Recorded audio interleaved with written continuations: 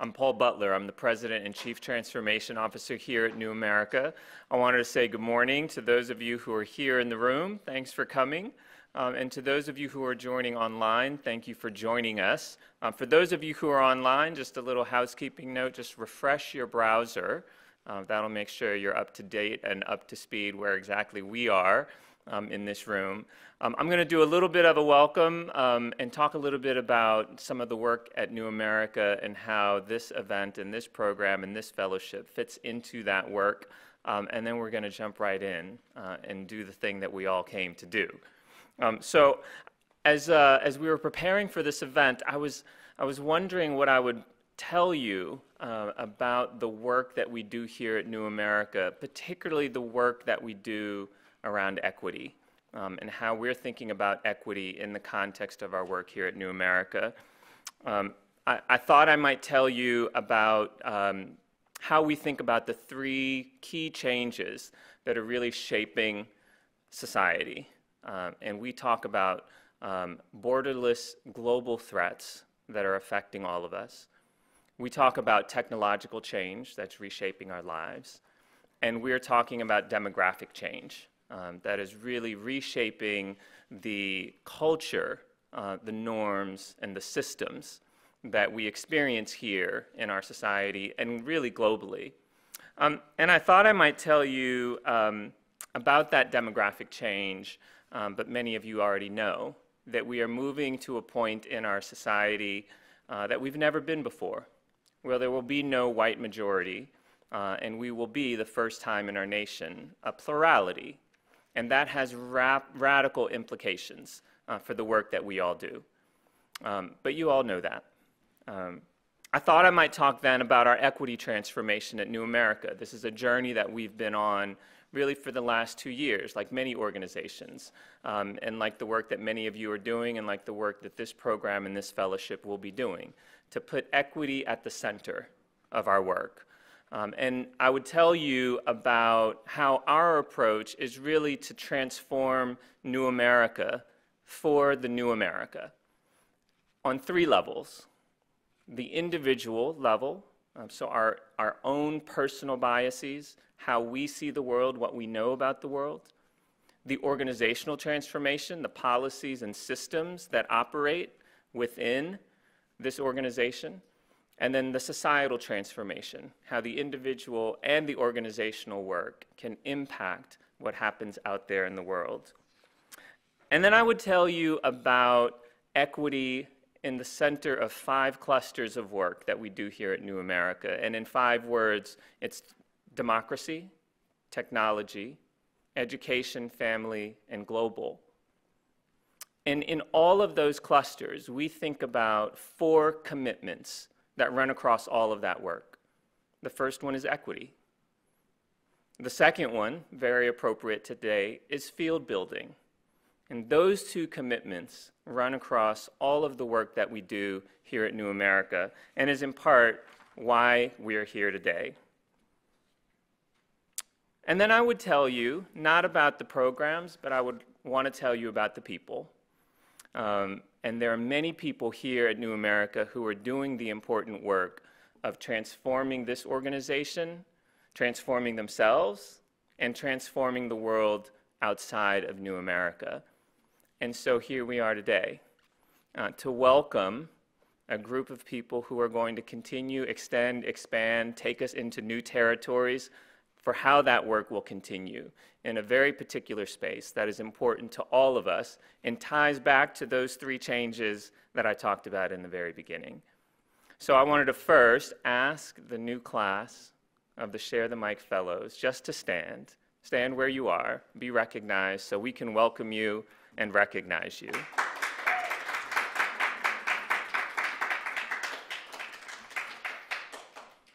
I wanted to thank all of you for coming. Uh, I wanted to thank you, the fellows, for the work that you've already been doing.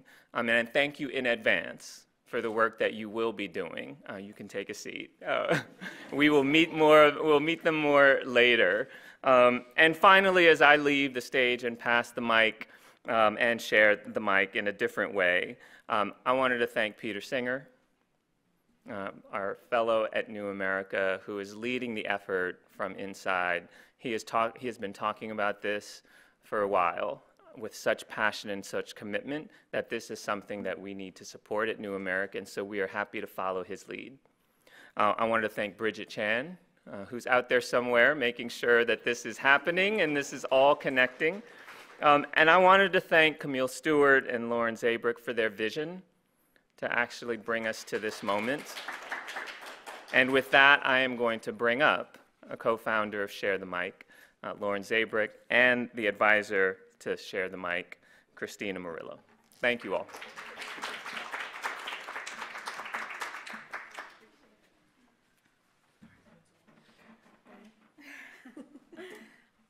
Hi, everyone. Um, it's, I, you know, I'm just looking out at you all and, you know, I'm, I'm just reminded and really blown away by, you know, how everyone is here right now for this one purpose. I mean, this is truly amazing. Um, but before we get into that, I, you know, I first want to say thank you to Paul for, you know, really just allowing us to create this here and for your support. So thank you so much. Um, I want to thank Peter Singer for, um, you know, your uh, leadership, your advice, your, your sort of vision here. I, you know, I'll, I'll just say real quick, um, last year, we, you know, kind of went after some money and then it didn't come through. Um, and then we're like, well, wait, why don't we just put together a, a fellowship? Like, let's actually build something. And that was really thanks to Peter. Um, so I just want to thank him for leaning forward and, and for your vision and, and, you know, making this really happen. Um, and I want to thank Bridget too. I know she's, as Paul said, running around trying to get a few things, um, uh, you know, set. But, you know, we hired Bridget um, this past summer, and it was funny because I was I was talking to her. I think we were having a meeting, and I was like, "You've been here for a year, right?" She's like, "No, it's only been a couple of months." But uh, she, you know, really hit the ground running. She, you know, just believed in this program so much, and she did so much to lay the groundwork for this fellowship. And I'm just so appreciative of her, you know, her skills and her motivation, and and you know um, you know, excitement in doing this. So I just want to thank them. Um, I also want to thank the sponsors for Share the Mic in Cyber for the fellowship. We couldn't be here without their support. Um, so Google, um, Twitter, Hewlett, the Hewlett Foundation, and especially Craig Newmark um, Philanthropies. So their generosity um, really, again, has made this happen. Um, so as I said on Twitter, um, you know, with the creation of this fellowship, this vision is realized. And so let's go back a little bit to that vision. um, if you have been here from the start of Share the Mic in Cyber, which Christina has, uh, you may know that it happened with really a DM. Um, so I, I had seen the campaign Share the Mic Now on Instagram that um, where uh, prominent figures in entertainment and politics, uh, white women, shared their platforms with black women in those industries. And I just got this idea this could really be good in cyber and national security. Randomly, I saw Camille's tweet about this. Camille and I did not know each other. I was not following her. we didn't know who each other were. Different states too, right? Different, different, states, states yeah. exactly.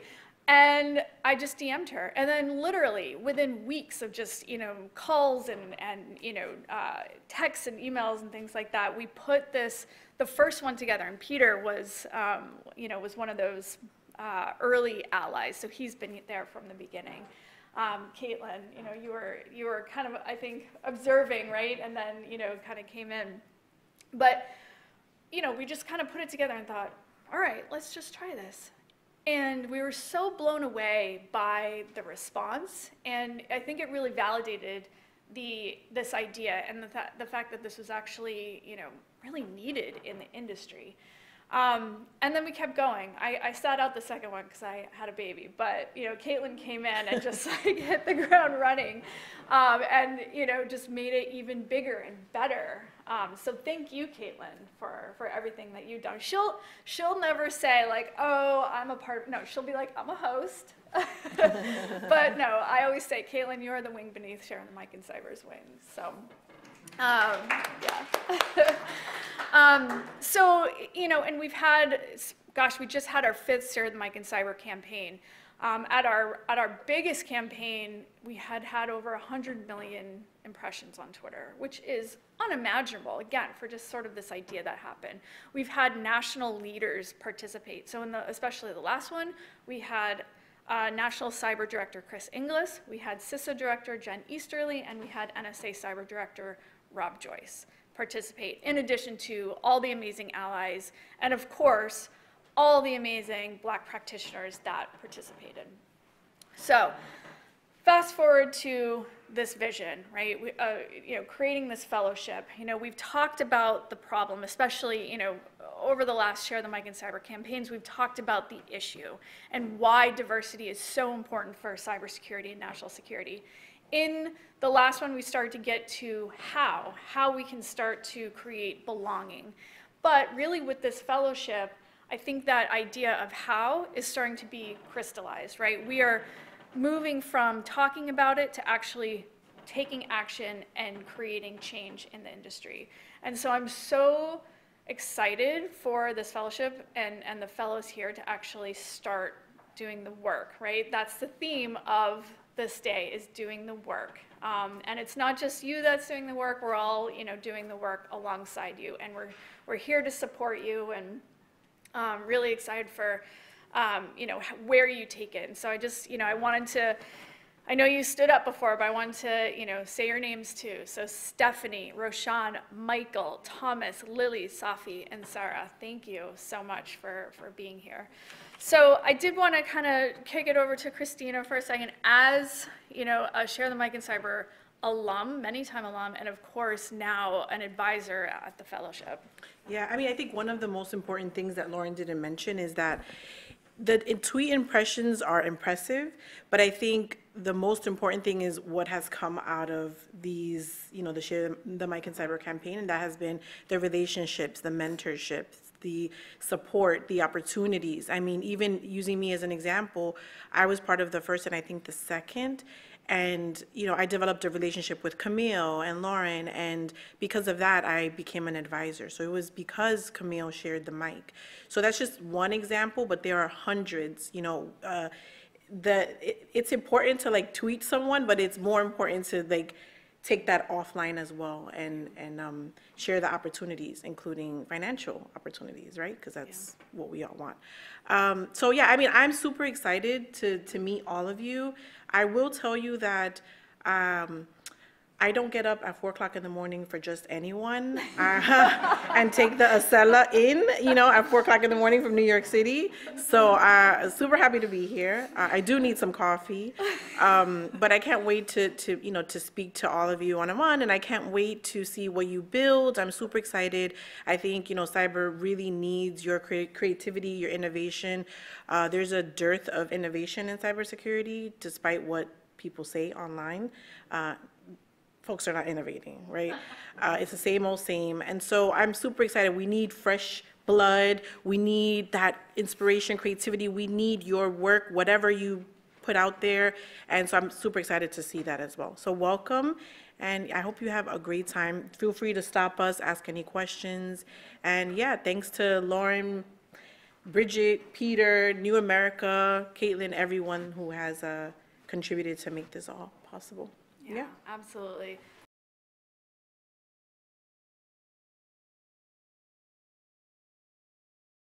I am Kemba Walden. I'm the Principal Deputy National Cyber Director in the White House. We are the newest kids on the block in the White House.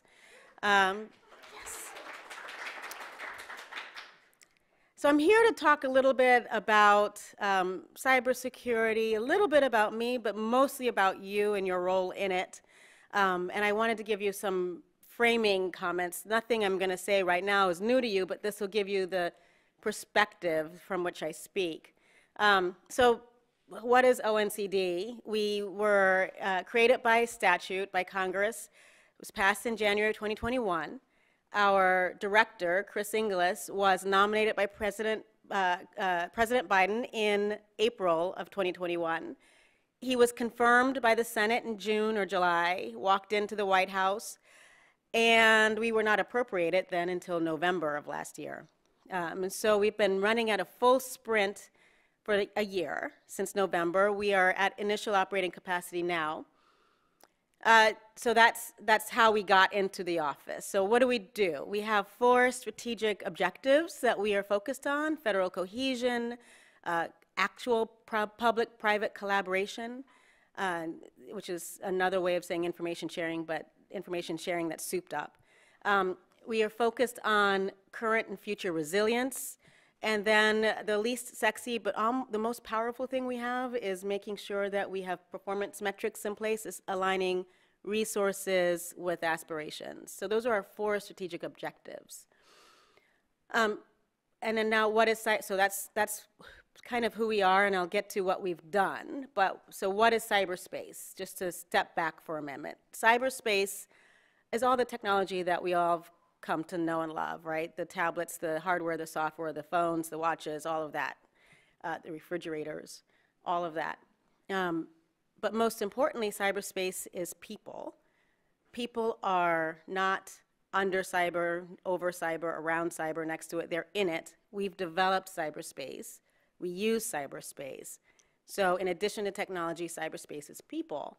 And then finally, um, and arguably the most important, cyberspace is process, right? Doctrine. We need to know who's accountable for what and who's responsible for what.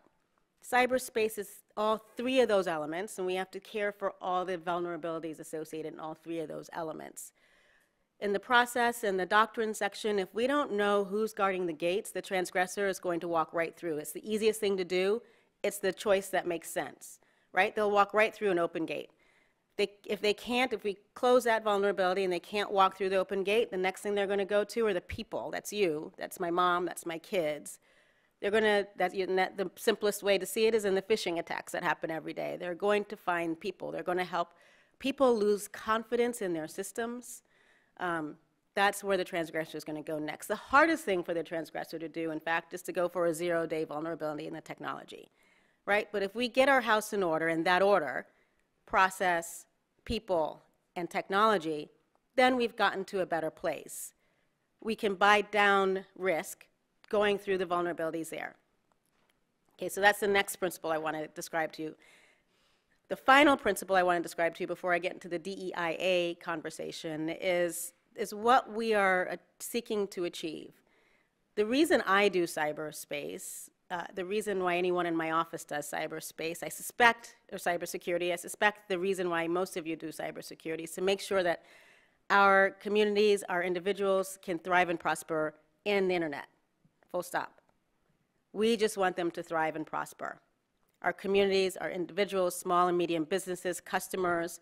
We want them to thrive and prosper in a, in a space that is secure, that is resilient, and that is equitable. That's how I imagine the internet.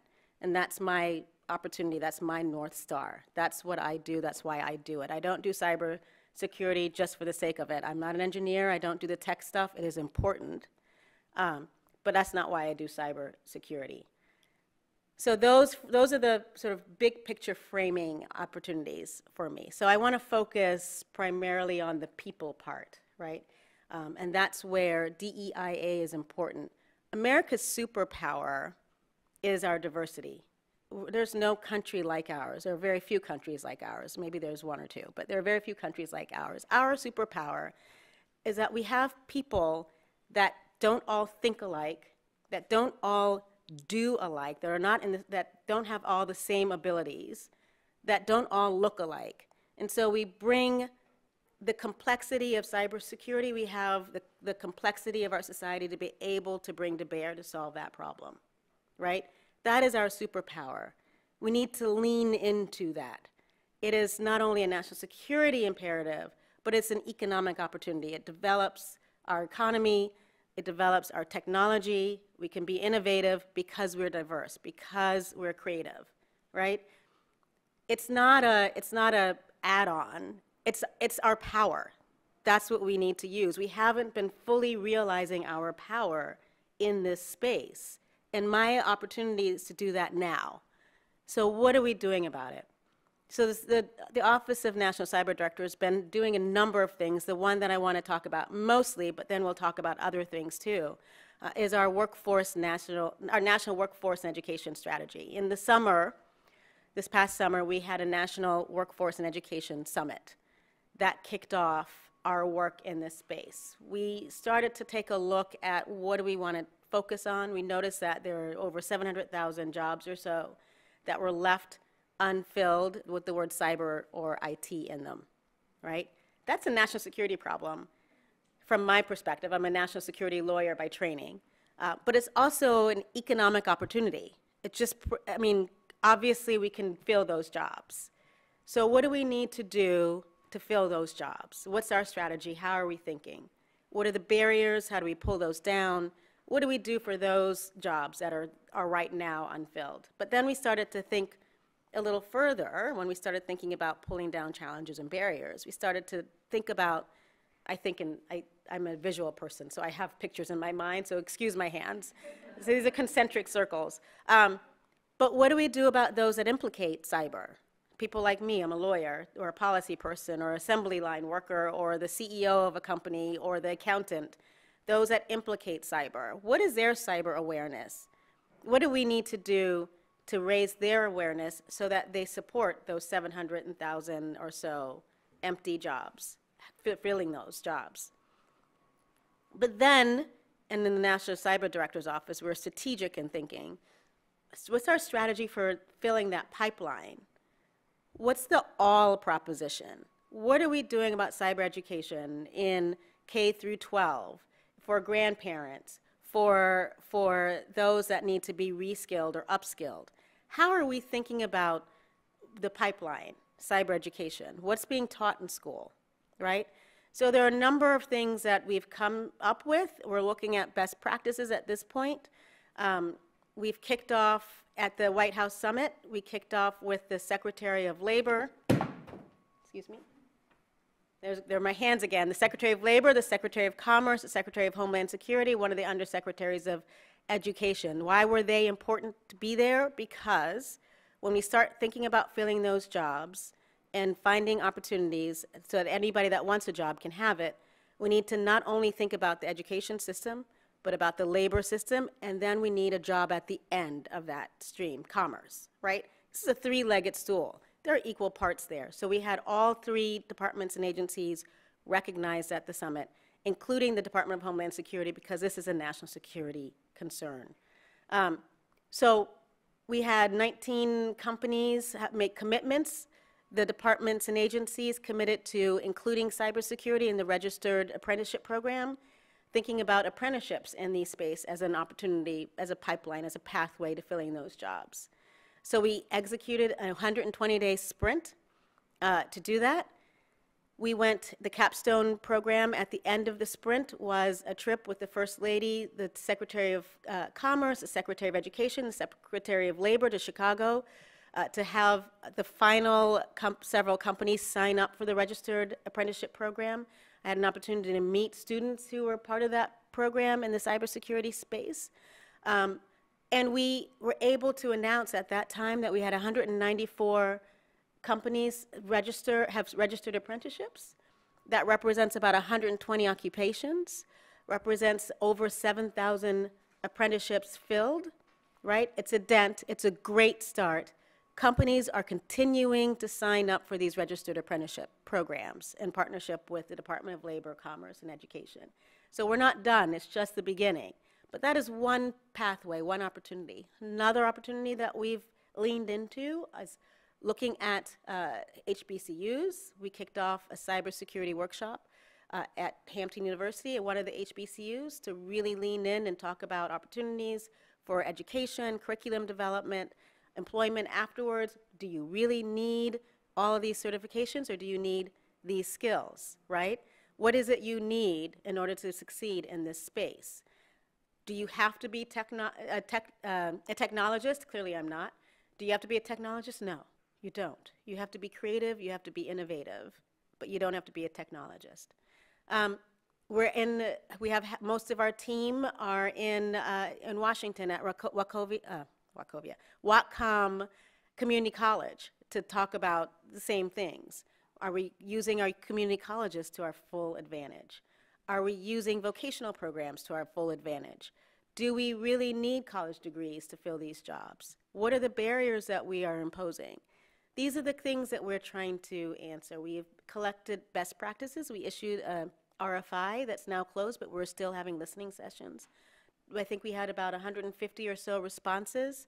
We've hired a whole team to go through, call through, really pull out best practices. I, in some of my travels, I've heard of a company that is reskilling, uh, using paid internship programs for mothers returning to work, for example, particularly those of us, I'm one of them, that were sort of being school teachers to our children at home. And how do you get back into the workforce and how do you reskill and upskill? I mean, we're finding these opportunities. We want to leverage them and bring them to bear. So that's our workforce uh, strategy. Our workforce strategy hangs off of our national cybersecurity strategy, which will hopefully come out at some point.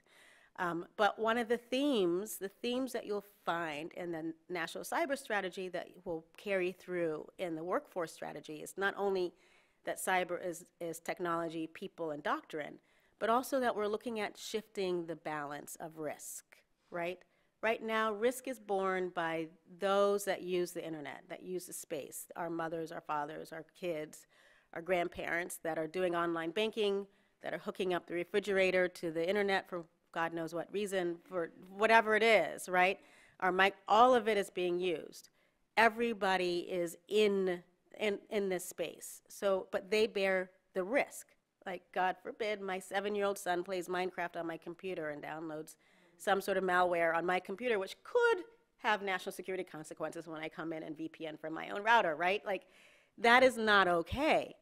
Uh, so we need to figure out what our strategic investments are to shift the balance of risk to the those that can bear it and buy it down. The large enterprises, federal government is included in that large, so some from small to big, from customer to provider. How do we, what are the investments that we need to make to shift the balance of risk so to those that can bear it and afford to buy it down? You all know, I don't have to tell you, that you never get to zero risk. Cybersecurity is an exercise in risk mitigation. You're not going to get to zero. But what you want to do is ha- what you have, make what you have defensible, and then with that residual risk, really hone in on resilience, right? Resilience in cyberspace, the technology, the people, the doctrine. What are the strategic investments that we need to make in order to buy down that residual risk? Uh, and that's what where I proffer that we need to lean into America's superpower, which is diversity right? This all feeds in also to the Biden-Harris administration's serious contention with cybersecurity. They've done some remarkable work. Uh, so, for example, the bipartisan infrastructure law um, will have, again, shifting that balance of risk, is doing grants for to 355 uh, local municipalities and communities to rebuild America. Our infrastructure, our broadband is included in that. Cyber plans are required for those grants right? ONCD is there to help with that planning. Um, the electric vehicle systems are getting an influx of funding through the Inflation Reduction Act and through the, what's the other law that we just, CHIPS and Science Act, right? So what are we doing there? So we, for example, had the electric vehicle market come to the White House. We gave them a threat briefing and a vulnerability briefing uh, because, in, in the classified space, because you don't, you all know that risk is, is a, is a, uh, uh, result of threat, vulnerability, and consequence, right? So we gave these executives, everybody has a role to play. You know, we're working on that process, who's accountable for what, uh, who's responsible for what. So we gave the C-suite in that market um, a threat briefing and a vulnerability briefing, and then we had the consequence conversation outside of the room in the public space with the government, with the labor, with energy, with our climate office in the White House to figure out what are the strategic investments that that community needs to make as they have the influx of cash from the Inflation Re- Reduction Act to develop the market, right? Cybersecurity is an opportunity for technical innovation right? You, it's not it's not one or the other. It's not national security at the expense of innovation. It's both and, right? So cybersecurity, in our view, is about national security, economic opportunity, technical innovation. Those, the marriage of all three of those that we need to lead into in order to progress, in order to make the North Star happen, to make sure that our communities are able to thrive and prosper in the internet, full stop. That is the, what, that's what we're here doing. That's what we're working on. I read all the, the fellows, I read your research ideas. I'm excited about them.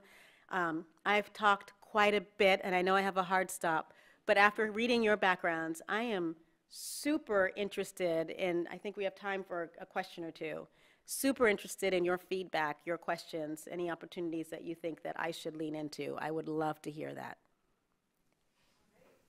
Well, if you have a question, please come back here and, uh, use the mic. I invite anyone to come back here. I'll say while, you- while you're thinking about it, I was one of the first, and I think I was in one of the first cohorts of Share the Mic in You were. 2019, Yeah, I remember. maybe? Yeah, absolutely. And Yeah, now so I'm the, now I'm in the White House, so look at what Share the Mic does. And Camille too. Now she's in Right? the White House. I mean, this is incredible. Stephanie, go ahead. Hi, my name is Stephanie Schilling, and part of my research project, project is trying to baseline the cyber, aw- uh, the cyber knowledge and the digital aware, uh, the digital resiliency of the American people. In part because I strongly believe that cyber, a lot of it is people, and I think that people wanting to do the right thing but not knowing how. That's right. What are we doing to try to pull this training information outside behind the corporate paywalls? Because we have some of our most vulnerable communities who desperately need this information, who just don't have access to it. So when I talk about our workforce strategy and what our strategic intentions are, one of the things that the team is charged to do is to find, figure out what the barriers are, what the challenges are, and remove them, right? Make investments to remove them. Uh, we're not going to necessarily uh, be able to regulate the companies that have data that's behind a payroll, paywall. But what we have to do is influence them to understand their role in this space, right? It's that shifting the burden of risk. Um, when our national cyber strategy comes out, uh, and I, and I can't tell you many details, but we've, we've concluded there, and we, we've said before in public, that market forces aren't working in the way that they, we need to have them work. So we need to do something a little bit beyond the voluntary notion, sort of the goodwill notion. The internet's public good, and it's owned by uh, the private sector at this point. We need to be able to influence them, if that's a carrot, if that's a stick, I don't know, I, I view some sticks as carrots sometimes. Um, But we need to be, we need to be a little bit more forceful and find other innovative ways, other than market forces, to encourage that kind of behavior. But yes, we're, we're pulling down, we're figuring out how to pull down the barriers. If you have any ideas through your research, I would welcome that. Okay. Okay. Yeah. Everyone should have, everyone has the innate right and should have the ability to protect, to protect themselves. Oh, that's absolutely right. Yeah, that's absolutely right. I look forward to that conversation. Thank you. This is Safi. Come on up. Um, I think, you know, this is very timely for a lot of us. We- A bunch of us met up last night and we're talking about this type of thing. Um, but specifically, my comment question is, you know, I- hear a lot about like making sure we have like the workforce development and we have, you know, a lot of the pieces that are working together from the private, uh, public space.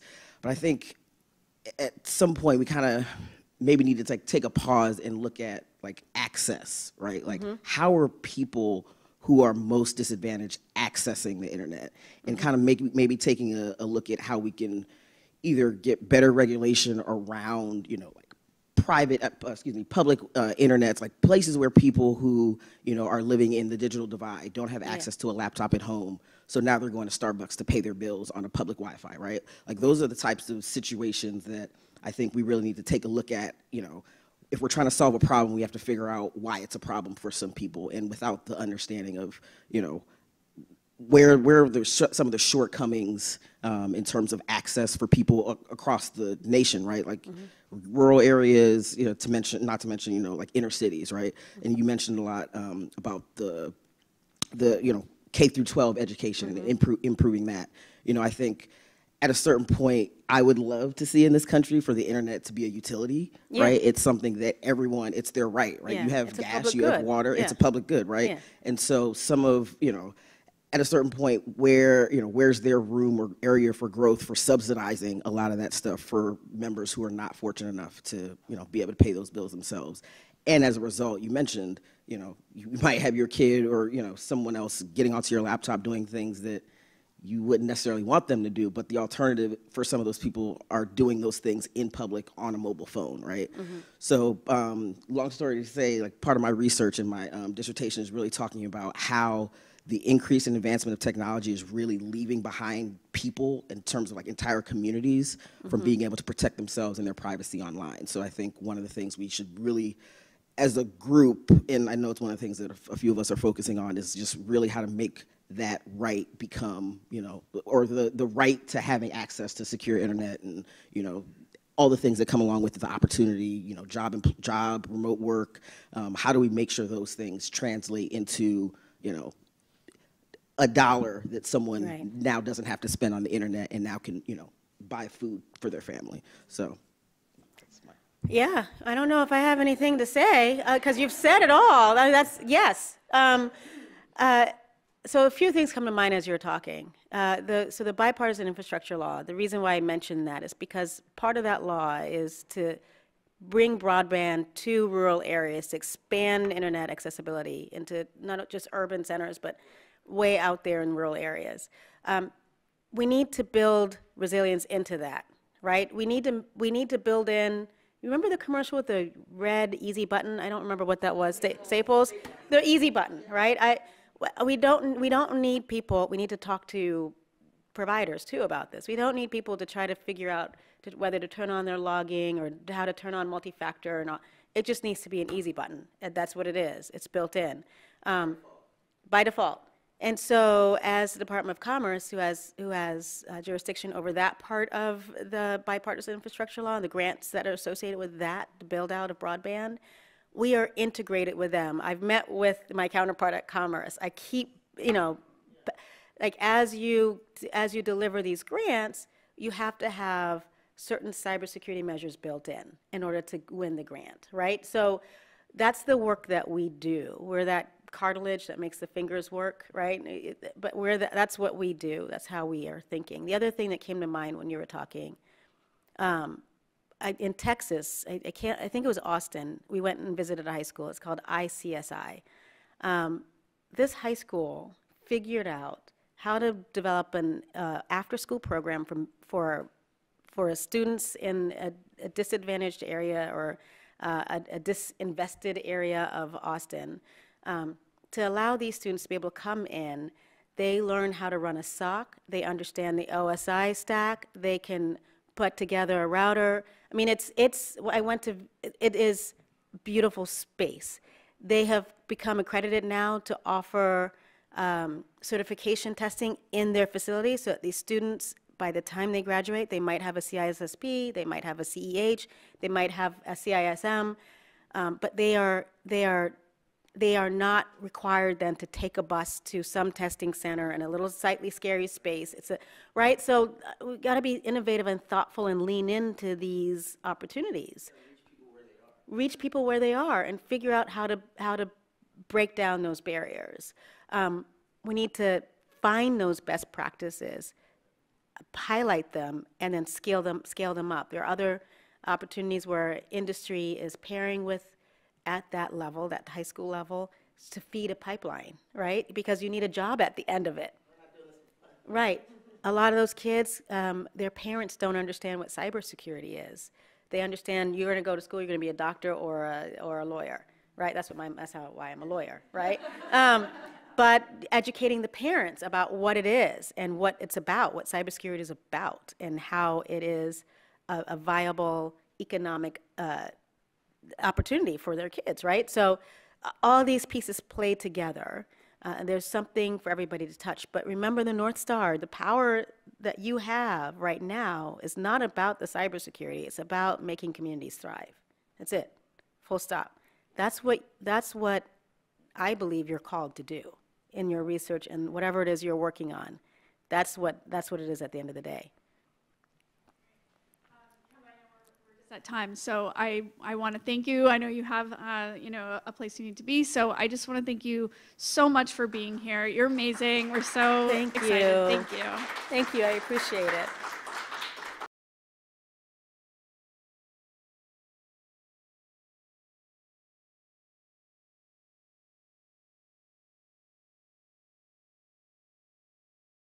I'm Peter Singer, and um, I just wanted to add uh, three things. One is um, my excitement um, at this event, um, both the panel, but also the overall launch. As um, was said earlier, this really is the culmination of something that went from idea to reality and there's there's excitement in that. There's there's pride that something actually really happened.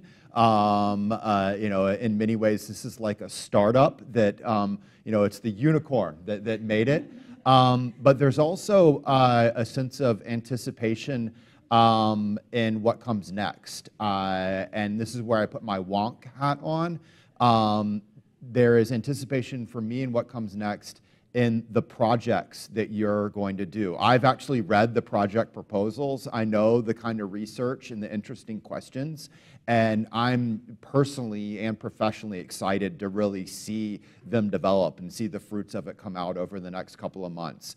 Um, the second reason that um, I'm excited by this goes to um, the topic, but also the approach um, in terms of this idea of doing the work. Um, I know personally, uh, I've been writing on, uh, we called them workforce questions in cybersecurity since um, 2014. I see Laura Bate in the background, an old uh, New America alum. This is not a new topic. It's been with us for a long while. And it's really cool to see it move to the next level from treating it as something that you have to make the case for to now actually, again, doing the work. And that leads to the third reason excitement is um, we've got a really great group here to uh, explore um, what this all means to do the work. Uh, so we have uh, Jorhena Thomas, who's Director of Professional Advancement at a really cool organization. Um, and I'm going to add, I'm to say this twice, a really awesome named organization. Uh, we were talking about this in the back about branding, Girl Security. Um, then we have uh, Tyrance um, Billingsley. Uh, he's founder and CEO of another awesomely named organization, Black Tech Street.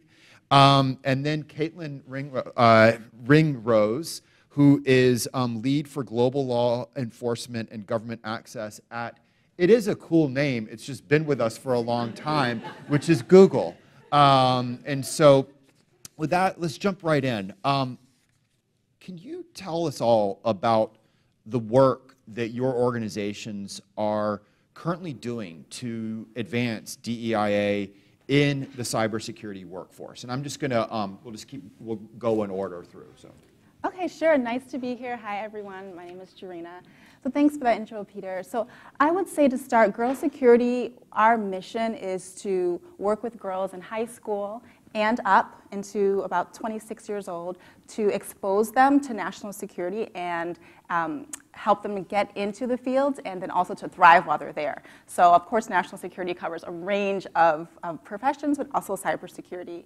So the main thing that we do is try to bring them and expose them to the different facets of cybersecurity and kind of demystify it too. Because a lot of times I think when people hear cybersecurity, their eyes glaze over. They don't really know what it is and they think it's just something technical and they don't want to be bothered.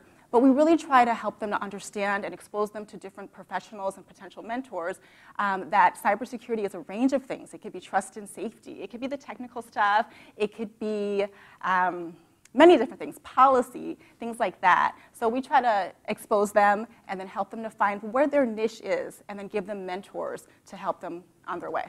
Can you give a, a specific example when you say expose? Like what, what does that mean? What does that look like in the real?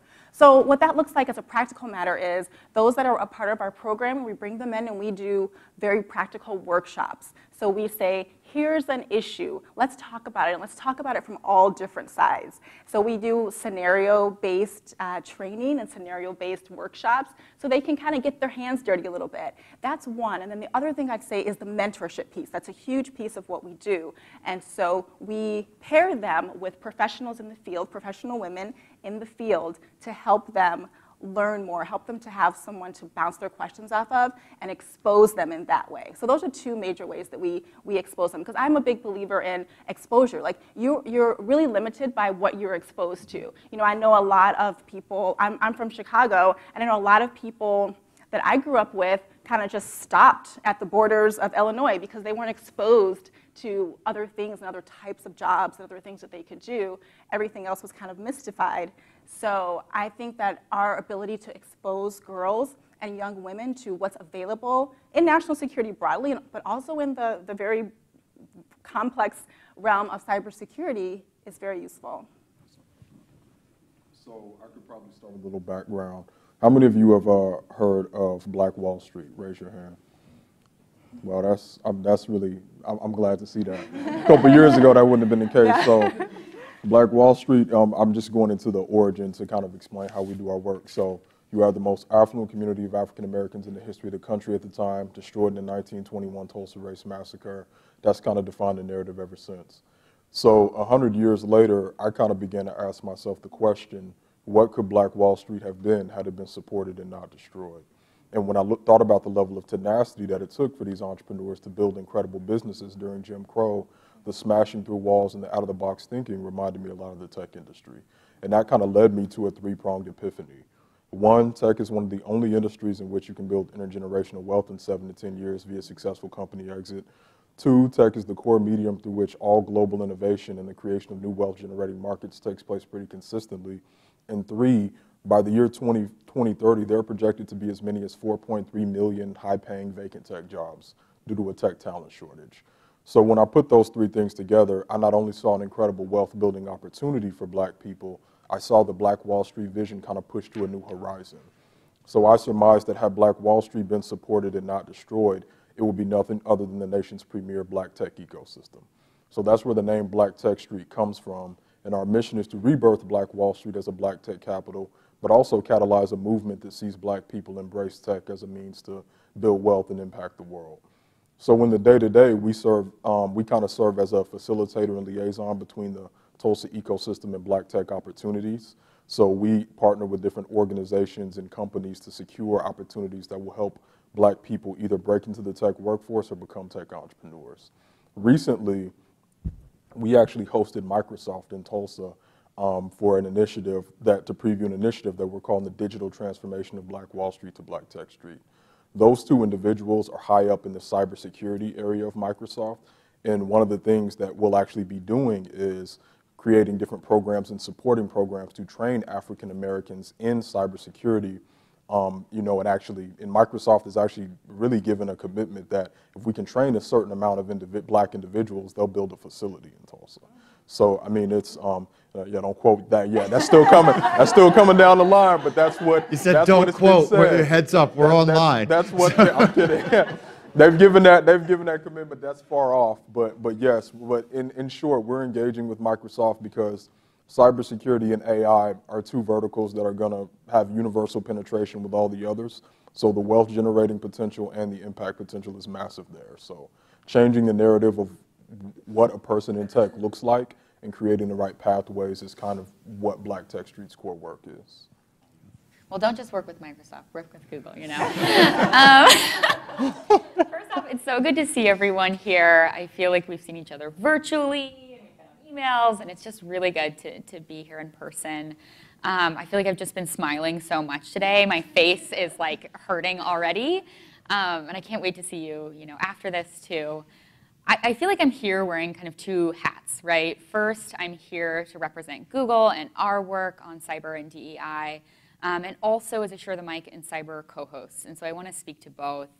Um, first, at Google, we recently created something called a Cybersecurity Action Team, and the whole point of that team is to be flexible and plug into other teams and functions to make sure that our security team, our security comms folks, our policy leads, our engineers are all really focused on inclusive hiring, representation, and making sure that folks, when they're at Google, feel and are accepted and understood and have a, a very valuable voice at all of these tables. So I think that's important um, to flag first off. And secondly, that we're also putting our, our money where our mouth is. So last year we pledged $10 billion to cybersecurity over the next three years. Um, and what that looks like is it's, it's a big pot of money. It's really going to, to change the face of cybersecurity. Uh, and part of that is we're pledging to train 100,000 Americans um, with Google cybersecurity skills. So that's our certificates in IT, data analytics, et cetera. Um, so far, over half of our applicants to that program, and everyone can apply, have been from the lowest one third of the economic bracket in the US, and over a half have been from diverse backgrounds too. So um, black people, women, veterans, et cetera. And I want to say um, there's something in a certificate, right? That it's not just about the learning you get, but the outcomes that you receive after. So it could be something like you get a promotion at work, you get a new job offer, you're able to pivot careers. Maybe you're a nurse and you care about cybersecurity and how it impacts hospitals, and so you start to um, pivot your job. And that's what we've been really focused on. So we've done some statistic gathering, and 86% of graduates from this early certificate programs have gone, gone on to report like a positive career impact in one of those areas. Um, and speaking from Share the Mic in Cyber, I want to say you all know about the mission, you know why it's important. We talked a lot today about hiring and getting folks into the field, but there's something really critical to say about supporting people who are in it already who um, are doing the work of securing our data, our people, and our country every single day, um, and that aren't being celebrated and aren't being affirmed at work.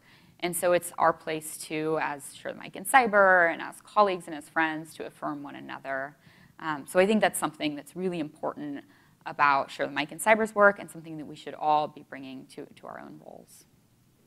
So I want to take the conversation into um, a bit of a, a, a tougher part which is, as I referenced in my opening, um, we've been talking about these issues for a while. Mm-hmm. Um, what part of the conversation around diversity in the cybersecurity field has been helpful?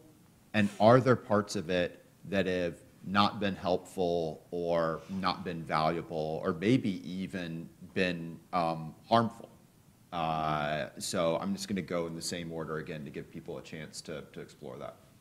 Okay, I think that's a good question. I think on the, the harmful and not helpful side, and this goes in any conversation about diversity, I think the tropes that are pulled out are unhelpful. And what I mean by that is when we talk about certain groups of people or we, we conflate being a minority with being poor, for example. So those things are pulled out, and I don't, I don't think that they're done maliciously or intentionally, but they come out. And so I think that's not helpful because it stereotypes people. So that's the negative. But the positive, I think, is that we're having these conversations. And there have been a lot of studies done on the cybersecurity workforce. I, I just read one recently that ISC Squared put out, and it was really interesting. And it's, it actually said that the percentage of minorities in the cybersecurity workforce is actually um, not as dire as we kind of make it seem. I think it was like 20 something percent, and which is still not great, but it's not as bad as as we made it seem. So I think so. My point is, I think the positive is that we're having these conversations. People are doing studies on the, the topic and pulling out truths as opposed to like the stereotypes or the things that um, we generally talk about that may or may not be true. So. Um, yeah, this can be, there's a lot of different facets to this, um, and you do see this in a lot of different areas of DEI work. The reason why people will often scout or want more diversity, sometimes when it's presented in a way that it's solely because we just want more talent to hit benchmarks, or it's solely because we want to look good, um, that narrative can be damaging. I mean, yes, I'm all for mutually, mutual benefit, but I mean, sometimes that can be damaging. I think it's more important to have narratives that actually show the positive impacts of people of, of color and diverse background being in cybersecurity. I mean, thinking about some of the national security issues that we're going to be facing as um, like things like quantum computing advance and how different perspectives and people from diverse backgrounds will actually be key to helping secure the nation if we mobilize into it. Like, I think the reason, the reasoning behind why uh, black people or mi- other minorities should get into cyber, that narrative from the beginning is one that they're going to pick up when they go into it. And if it's more kind of like a, we just want you to serve us, sometimes it can be harmful. But on the other end, I would say, I mean, the harmful part of the conversation is that a lot of it just stays conversation. I would say that's that's a pretty big thing. And I agree with Jorhena. You said something earlier, which is like there are so many ways to be in this field, and you don't have to be hyper technical. You don't have to come in and have like you know a massive love of coding, et cetera. I was an English major for undergrad. I'm a lawyer. I work in um, cyber and tech now, and I think that that's really powerful um, to be able to say like, hey, this is a career field that embraces diversity and diversity of thought and background in that way. Um, but it is something that holds us back when we also use acronyms and terms that people don't understand, and we, we create this insular community that seems very difficult to, um, to join and be part of. And so I would say that that's maybe like uh, something we need to, to do a little bit less of in terms of embracing folks who are coming at this, especially from a non-technical background. If I can, may I add something to what Katelyn just shared? I also think just the language that we use. So I mentioned earlier, like the term cybersecurity can be can turn people off right off the bat. So I think as part of the discussion of bringing different types of people in, especially younger people, is making it very accessible and explaining what we mean when we say cybersecurity. So are you interested in misinformation? Are you interested in whatever? And then just pull that out a little bit more because I think a lot of times we use the term and we don't understand how that falls on people. So It's interesting, I was at a um, corporate event last week uh, of CISOs who were gathering, acronym exclusionary. Um, And one of the um, issues, one of, the- one of them talked about um, their sense that 20 years from now, that term, Chief Information Security Officer, will, will, will, will be gone, that it will be redefined as something else because it's, and this actually links back to um, what Kemba was talking about as well, is that it's not just information security, it's bringing in other issues of privacy and risk and policy. There's some insurance elements to it, and that if you framed it that way, um, you also have very different backgrounds of people coming in. Yeah. Yeah, and I was going to say, this is something that we're exploring as we think about how to communicate cybersecurity to the black community in Tulsa. Like asking about protective instincts versus making them wonder about,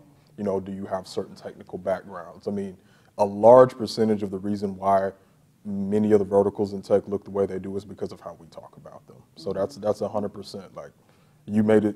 I mean, some of this stuff as I'm reading it, I'm like, I do this for a living. Like, wait a minute. Like, wait a minute. Like, is this like? And it's it's it's how you communicate things matter because it, it allows it dictates how a person is going to be able to plug into into a framework. And if the way you plug into that framework looks or sounds a certain way, you're going to discourage a lot of people from even touching it to begin with. So these are all um, aspects of a, of a topic that, that people who know me is very near and dear to me is around that idea of narrative and the power of narrative. Yep. But there's also potentially other things going on here. So um, what are other um, barriers that may be systemic uh, when we talk about building more diversity in cybersecurity? I'll let you go first, Tyrance. I mean, I think we hit on the biggest ones, to, some of the biggest ones, to be honest. I mean, it's, it's, I think the narrative is a big one. I mean, other, other barriers are some of the same systemic barriers that you will see, like, across different verticals. But, I mean, is there, is there, are there targeted campaigns to get people who don't typically look like the, who don't look like the, you know, typical cybersecurity person that we have put forward as the archetype? Are there targeted campaigns to get them involved?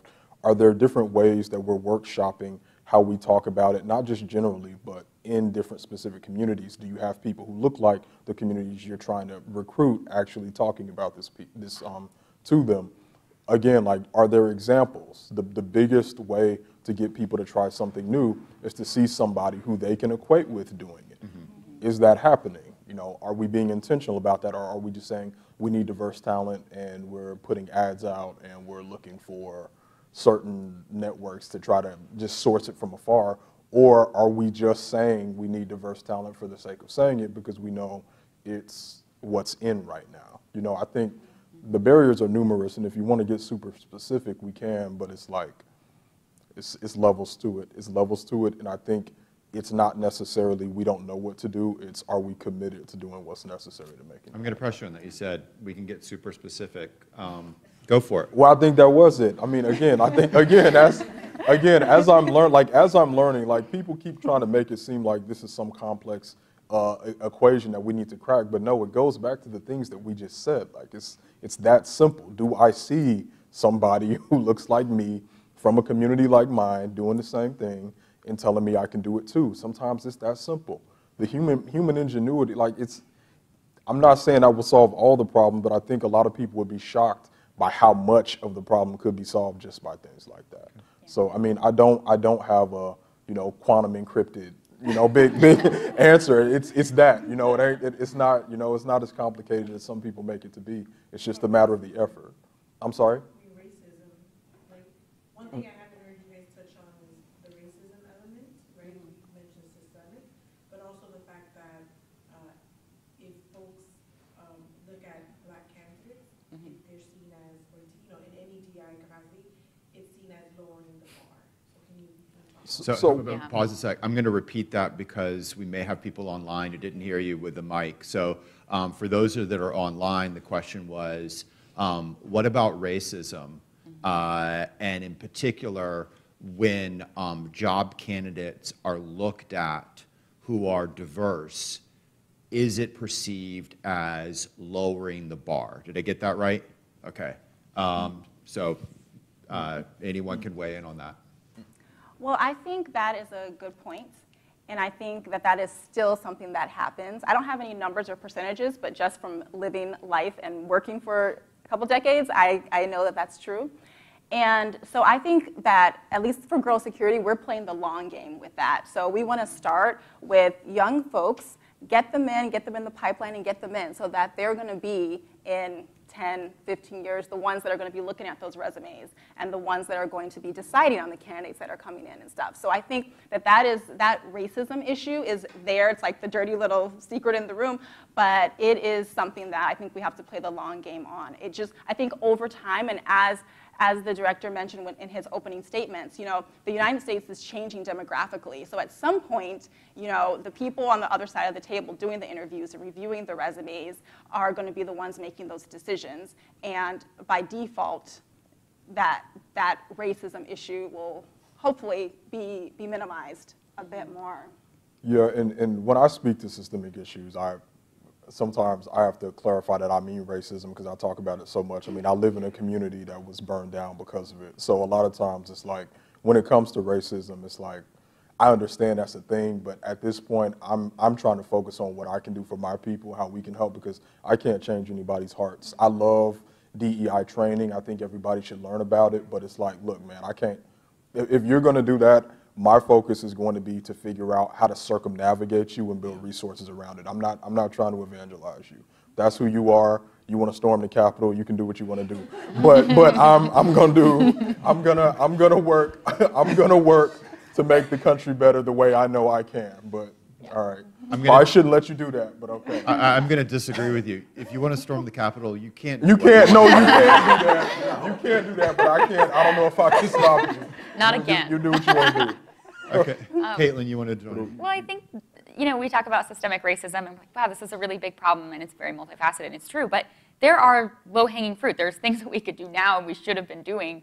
Um, and that part of it is in recruitment, a person like me looking at applications, why are you putting forward a job application that like you say you want diverse professionals to apply and diverse talent to apply, but the very qualifications you have are painting a picture of the applicant you're truly looking for.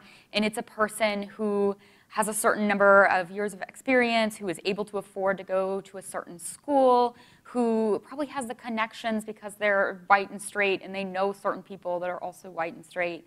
And I think that's really difficult. I think like you can't go forward and say, oh, this is such a difficult problem. I have no means of solving it at all. I'm going to throw my hands up and be concerned about why folks aren't applying or taking these jobs. I think that that's ridiculous. And I think, too, there's this, you know, let's put forward unpaid internships. Who's taking those? It's people whose parents can afford to foot their bill, et cetera. Um, and I mean, I've taken a lot of unpaid internships and had to live off credit cards. It's horrible, it sucks. Um, and so I think that we need to really put our focus, you know, we say this is our focus in terms of hiring, but we don't actually do it. We don't even take the five minutes it would take to tailor um, our, work and make a targeted approach. You're right. Um, I think, too, we don't focus on retention nearly enough, right? Um, we talk about systemic racism in terms of hiring and in terms of inclusive hiring in particular, but we don't talk about the people we hire, how we structure layoffs, for example. We don't talk about how we care about people in their work, support them when they're in their jobs, especially during the pandemic. Are we reaching out to people and making sure that they are seen and heard? Do we have tools in place to make sure that their voices are respected in something as simple as a Zoom call? So I think all of that is important. It's something that can change very, very quickly to adapt, um, and something we already should have changed. If we're, if we're doing that work today, that's great, but it should have been built into our processes from the start. So um, in his opening remarks, Paul um, painted a picture of a new America that demographics mean definitely will happen, a more diverse America. Can you paint a picture of the cybersecurity field moving forward? And in particular, are there key gaps in DEI efforts that need to be filled to achieve that vision? Yes. So I'm gonna tell you guys a little anecdote. So I, a couple of semesters ago, I taught a class with a colleague who's a cybersecurity expert at American University. It was about disinformation. And we had some interesting conversations with our students about if that, if the course was a cybersecurity course or if it was something else. And someone told me, oh yeah, great, you know so much about cybersecurity. And I said, no, I don't. I'm, an, I'm an Intel person. Like, I don't know much about this. And they said, yeah, but we're talking about disinformation. That's a cybersecurity issue. And I said, no, it's not. It's a sociological issue. And, and then someone else said, it's actually both. And so my point is, in the future, I think that cybersecurity is going to be a mishmash of people with tech backgrounds and legal backgrounds and humanities backgrounds and um, communications backgrounds because cybersecurity is all of that. And I think the better we do at explaining that, it's not just this siloed thing, it is it's an art and a science, and it mixes in so many different things. You know, CISA, the Cybersecurity Infrastructure Security Agency, on their website defines cybersecurity as the art, the art of protecting networks and information. I thought that was beautiful because it is an art, and it's art and a science. But I think that in the future, we're going to have, we're going to move away from that CISO framework that you were talking about, and we're going to have people that define cybersecurity as all of the above. And it's not a siloed approach, it's very, very integrated. So that's my first answer to my question, my question, answer to your first question. And the second one about the gaps, I think is related. It is those gaps in DEI when it comes to cybersecurity is making sure that people know they can get in where they fit in. If you're mm-hmm. interested in this, you can do this and be in the cybersecurity realm. If you're interested in this, you can do this and be in the cybersecurity realm. So it really is about the narratives and the words that we use that we talked about earlier that I think that's a gap we can fill and that will bring in, if the more you diversify what cybersecurity means, the more diverse types of people you're going to be able to bring in. I'm not just saying racial diversity, I'm talking about neurodiversity. Mm-hmm. You know, I'm talking about different, differently abled. You know, there's so many different types of abilities and, and definitions of diversity that, will that we can bring in if we diversify the meaning of cybersecurity. Yeah, that, that speaks to the overall like trend of what we kind of push at Black Tech Street. And the overall trend in tech, tech is being redefined as not just the technology, but the ecosystem around it. And once you broaden that definition to the ecosystem around it, you have exponentially more pathways to, to interact with something. So I think that the diversification of and, and the expansion of how you define it will probably be what what is going to get the most diverse perspectives. I would really just co-sign that. But again, when it comes to the gaps in the efforts, like continuing to go back to what was said earlier, I think share the mic in cyber was an incredible. Like I think this is like you know, go ahead. Like that's an incredible pathway that needed to exist that hadn't. Um, and I think the more you see things like that, that's that's how we'll make we'll make progress. I love that. I think that's all incredibly important. Um, and something I hear really often in the queer community too is like nothing about us without us. Yep. And so it's not just, you know, building this ecosystem, all being part of it, but also who has the power, right? Who has the power to create rules, set norms. Um, it's just so important to make sure that we're not only there, but we're representative um, and, and we're speaking out and we have the ability to make change. So I, I hope that that's part of our, our shared future. Yeah, that's actually interesting. My community has a different take on the saying. It's what you do for me without me, you do to me. Oh, so when it comes to you building out what the future of cybersecurity looks like, if we're sitting like here in ivory towers with other people saying, what does it look like? You've already failed. You got to get out there and say, what does this look like? You know, how does this, how does this, how do you, how do you see a pathway into this? How does what you already have, the skills you already have, translate to one of the base skills that is crucial to cybersecurity or any other vertical? That's, that's how you, that's the starting point. And if I can add one other thing, um, Safi, um, we were listening in the back, and I heard your question to Kemba, which I thought was great. And it was about making it real. Like someone who has to go to Starbucks on an open Wi-Fi and pay their bills, you know, that is that's a huge vulnerability. So I think part of our future too is making cybersecurity really relevant and practical. This is why this is important to you, you know, and and it, I think it's really relevant when it comes to like digital rights and privacy and stuff. Like that's just real stuff. And if, if we put it in those terms, healthcare, Right. everything, if we put it in those terms, cybersecurity isn't just this thing over here. This is like real stuff if, um, involved in your life. If we figure out a way to do that collectively, I think that would really encourage people to want to be interested in the field. Because one of the things we, we I see, I've seen in girl security, some girls and young people like to come to the field because of a personal experience they had as a child. And I think that that's true for a lot of us. We end up where we end up because of something that happened to us as a child or some experience we had, something that caught our attention, and that drives our interest. So I think the same with this field. You know, if people really realize how it impacts them on a day-to-day basis, they might be more interested to coming in and participating. So I'm going to end with um, one last question before we turn it over to the audience, but it's uh, about the audience. So we have this new group of fellows who are kicking off um, a year's worth of research and project building, um, but they're also, in a certain way, they're, they're representative of a broader set of people that are either at the start or in the middle of their careers in this space. So um, what's one bit of advice that you would give either to our fellows and or someone working in the field?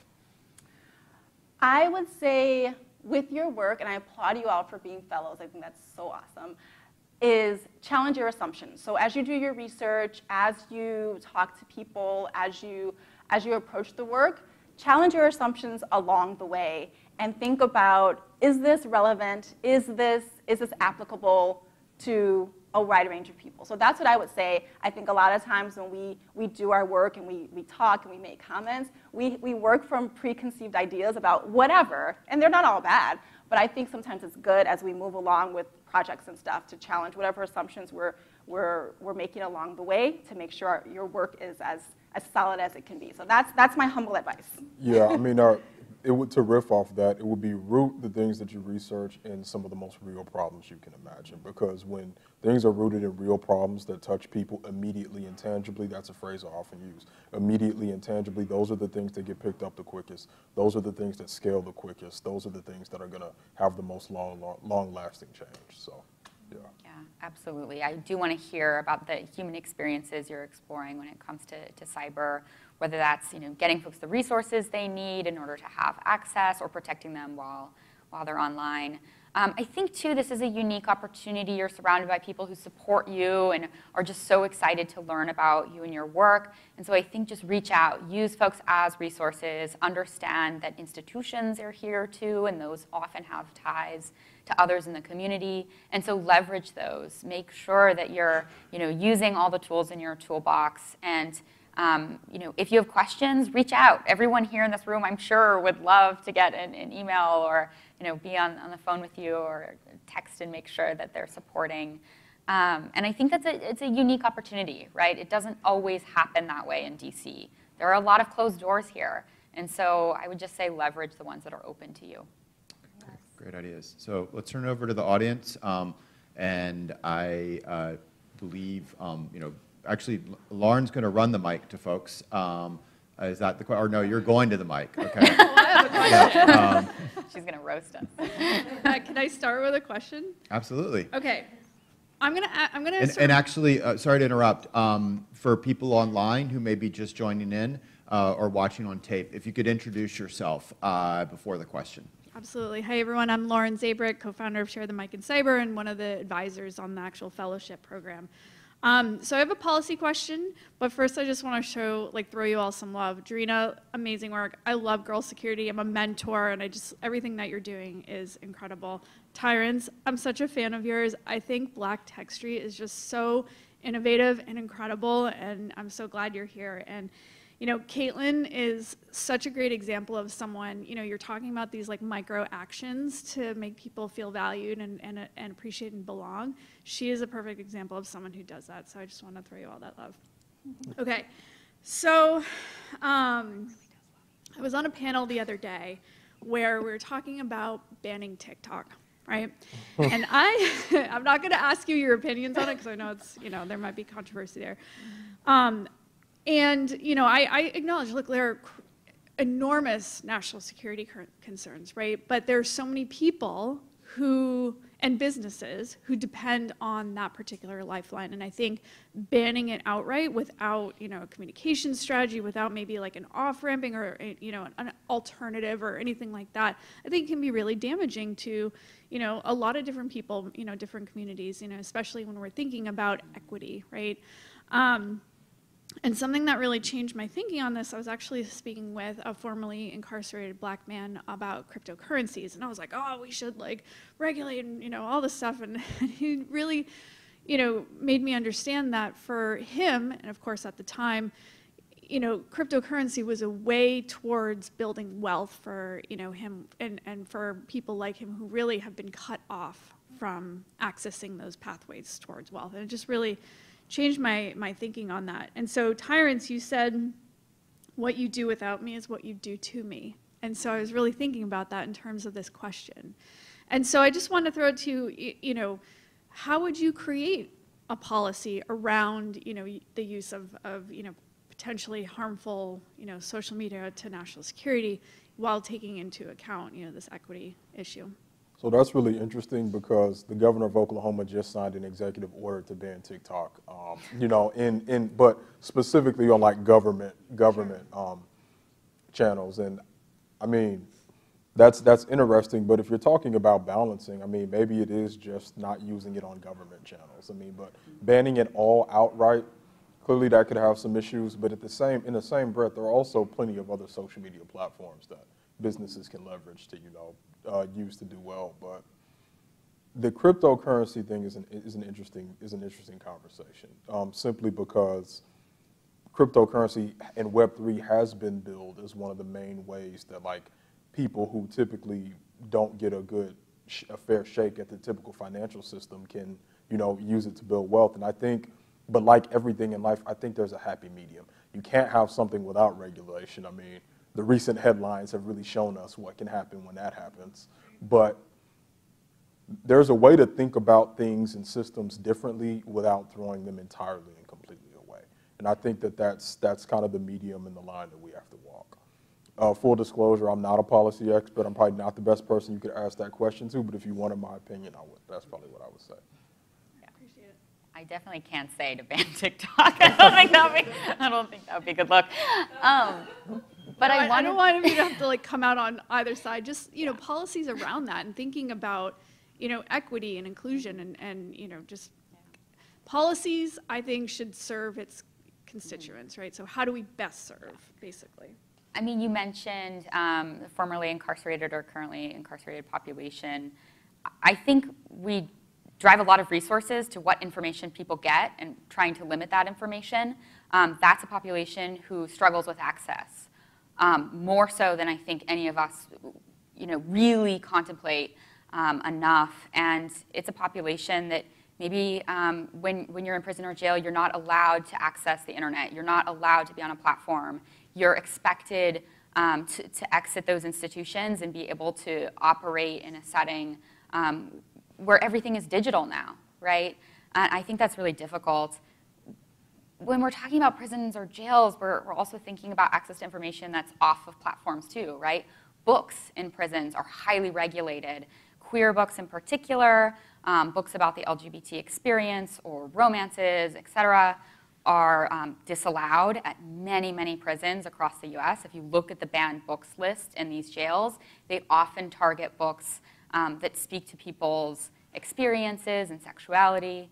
And so I think it's really important when we're thinking about policy, we often focus on like, how do we protect people from bad information, um, whatever we construe as bad information, but we're not thinking about these very fundamental access questions, which aren't even about like how to access TikTok maybe in, in prison or jail or after. It's about like, how do I even like read a book when I'm in jail about, you know, something I care about? Um, and so I think that's critical, right? We need to drive more attention to things like that that just feel like they're, they're not being um, focused on in general discourse.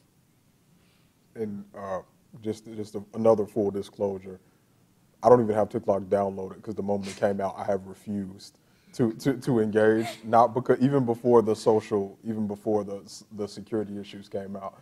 Um, so no, I'm not saying to ban it, but I think that I think that the conversation about access, I think it's broader than TikTok, and I don't know that it should start there. I don't have it either. I will never. But I have to write a lot so I keep my thoughts in track. So I'm Michael. Um, actually work for CISA, um, and I have to say, personal capacity, it's not the government's view. With that being said, I don't have TikTok on my phone. um, I'll also be fired. Um, so, but as a government employee, um, I have one of the highest clearances you can get in government. Um, I love my job. I think I do a lot of cool things because of the clearance.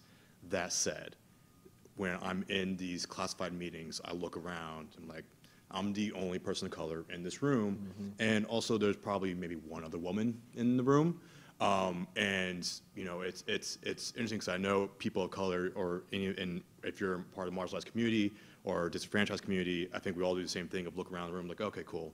Um, and but part of it too is, and this hasn't come up in the conversations yet, and if there's more time, I was going to ask Kemba this about how we're trying to be more inclusive in the federal government space because it is very scary to try to work for federal government, um, not least which because federal government had a huge role in disenfranchising marginalized communities, and we don't necessarily do a good job of being a Sherpa and helping those who want to get in national security and federal government because you, the form you have to fill out is extremely lengthy. It takes several months, uh, if you're lucky. You, sometimes it's years to get part of this clearance process. Um, and you need to know people. Uh, I mean, I think you mentioned earlier about internships, especially in DC. It is such a closed community that if you don't know somebody, it is really impossible, near impossible to get part in the policy space. It's a tight-knit community, especially trying to work on the Hill. And the only reason why I was able to work in the Senate was because I had a network that I was able to leverage. And it felt weird that I had to like reach into that versus just my own qualifications. And so I say all that, and it's even worse at the state and local level. I used to do um, work at the state and local level, and you know, we, people always talk about how private sector approaches people from the federal government because of salaries. I mean, we do the same thing at state and local level, and so it's just it gets worse and worse as you go down the government chain, and uh, the government does so much, right? I mean, you're talking about how Oklahoma just banned TikTok how, how many people in the diverse community work for Oklahoma State and even at the local community? Um, and it's just, it's a problem. So I'm curious for any of y'all, what are you trying to do in terms of, for those who are interested in trying to work with government, how are you engaging with local, state, federal level, and what are some of the ways we can start breaking down those barriers? Well, I'll start. Thank you for that. Very, very good question. So I'll start by, by sharing just real quick as you did. So I've worked at the federal level too, looked around the room like, hmm, okay. And I worked at the local level too.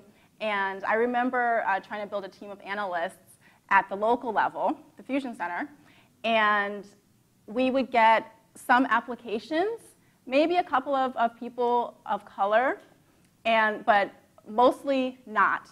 And it was very difficult to, to build a, a very diverse looking team because of the people who would apply, who knew about the position, who were interested in it, and it was very difficult uh, for me as a black woman to not be able to facilitate that, even though I wanted to. So um, I, sorry, I forgot. What was, what, was, what was the last part of your question? Just how we can start breaking down some of the barriers and- Yes. and entry into government, and make it more appealing, really.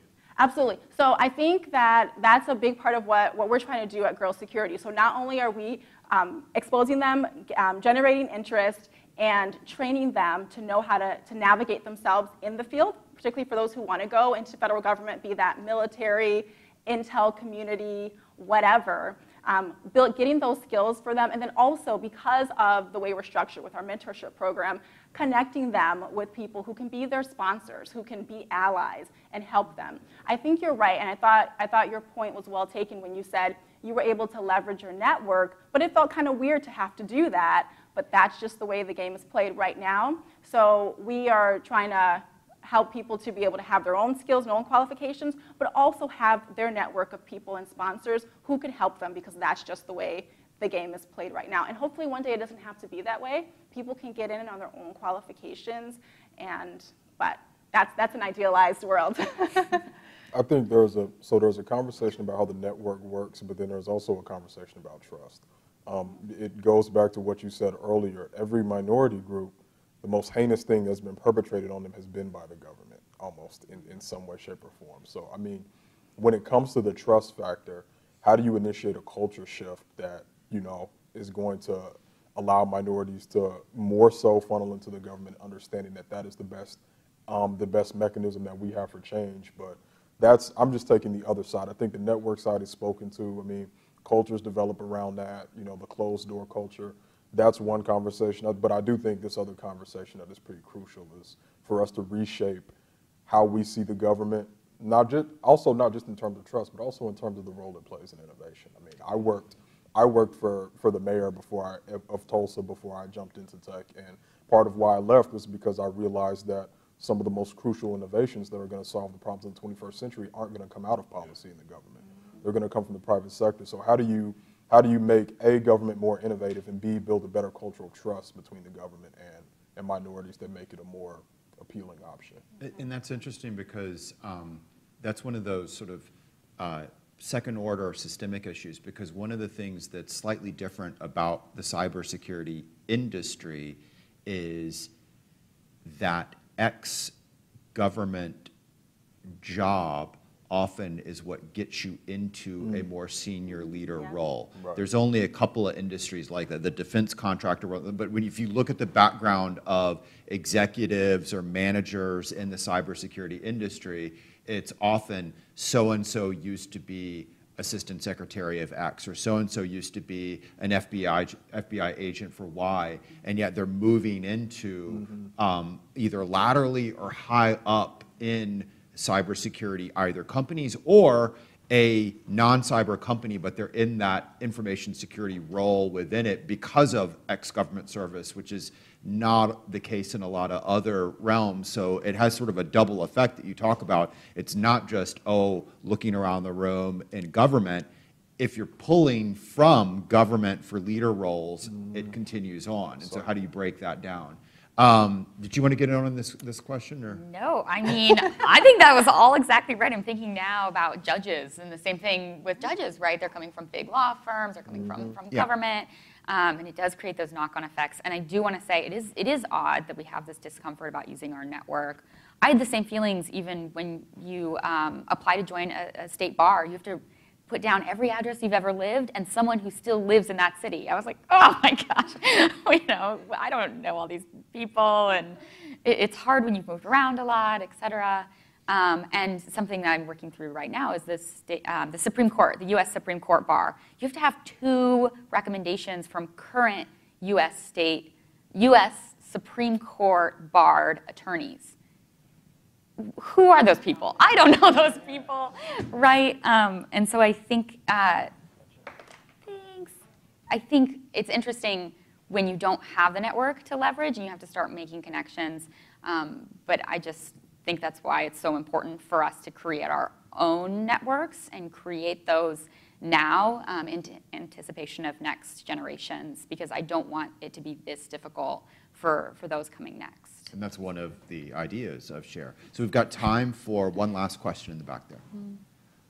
Great, I'll make it quick. Watch out Uh, First, my name is Connor Godfrey, and I work for the George Kaiser Family Foundation, which is the biggest place-based philanthropy in the world, to the best of our knowledge. And I introduce it like that because my question is actually about geography. I would love to hear the panel riff a little bit on the intersection between kind of racial and community diversity and geographic diversity. I think it's almost axiomatic at this point that cyber is a team sport. Uh, you know, Katelyn, I'll put you on the spot. Do you know where Google's biggest data center in North America is? Oh, I have no idea. I'll give you a hint. I- There, there, are two, there are two Tulsans in the room. Sorry, so I actually, George Kaiser Family Foundation is based in Tulsa, um, so I have the privilege of working with Tyrance on a number of projects, but it's right, right outside of Tulsa, but whether it's critical infrastructure in energy and aerospace manufacturing, right, so we have different regional flavors that require cyber talent and technology. I certainly don't want it all going to Fort Meade, right? Like, I think we need to look to our own backyard first. So, we'd love to hear a bit of a riff uh, on the intersection of, of talent, recruitment, geography, et cetera. I'm looking at We, you. we have this conversation all the time, so I was actually gonna, you and, oh, oh, okay. Okay, well, okay. So, you know, Connor, when I got put on the spot, I realized how, uh, get a little more concise. You wanted, you wanted the, so the intersection between geography and, you know, and race. So when it comes to uh, attracting talent specifically, so this is a nut that Tulsa really tries to really tries to crack. Um, a lot of money gets poured into it because you know the diversity of the talent pool of a geography, you know, plays heavily, if if not isn't the single biggest determining factor of where that geography is going to go economically, what kind of society it's going to build, things like that. So when it comes to the interplay of of those two, I mean people want to come and live in communities where they have uh, a flourishing ecosystem, where there's an abundance of opportunities, and where they feel like they have access to the things that are most crucial for them to build what they feel will be a good life. And when I say build a good life, I don't just mean economics. I'm talking about have certain impacts. Um, is this city connected in a way that's going to allow me to have a highway to impacting other places as well? So to specifically anchor that in cybersecurity, um, as Connor and I talk about a lot, the University of Tulsa actually has one of the best cybersecurity programs in the country. I think it was number two, ranked number two at one point. What, correct? I, I wish, number 25. 25. I thought it was, it was it was high up there, and there's you know there's relationships with government agencies. And I was actually having this conversation yesterday when I first got in DC. I, I linked up with a friend of mine, and he was talking about how different geographies have these things called endowments. Here, DC's biggest endowment is the federal government. Um, we were actually talking about how Prince George and Charles County are the two wealthiest black counties in the entire country because so many of them, people work for the government and they can stay there for years, they get good jobs and all of that. So when it comes to geography and like in race and things like that, I would say it's really about thinking about what are the endowments of a geography and how can those be leveraged to make it a more inclusive or vibrant and inclusive environment. Great. So um, we are both running out of time for this panel, but actually at the start of a marathon for the fellows. Um, and I want to um, end by thanking you all for um, sharing your insights with us, but also um, invite you to stay linked and um, run that marathon with us in the year ahead. So please join me in a round of applause. And with that, we're going to exit the stage, and I'm going to hand it over to my colleague Christina to um, close us out with some remarks.